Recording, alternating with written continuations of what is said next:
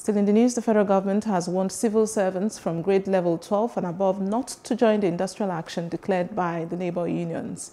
The warning is coming after the meeting between the federal government and Organized Labour, Nigeria Labour Congress and Trade Union Congress, which ended in a deadlock. A circular issued by head of the Civil Service of the Federation, Dr. Folasade Yemi-Esan, has now advised civil servants to be at work from Monday.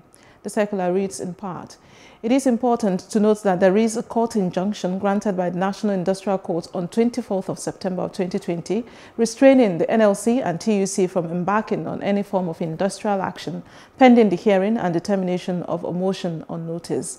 Accordingly, all officers on grade level 12 and above and those on essential services are hereby strongly advised to be at work to perform their official duties. The Nigeria Governors Forum has also advised organized labor against embarking on industrial action as any plan to down tools will worsen the already deteriorating economic situation brought about by the COVID-19 pandemic.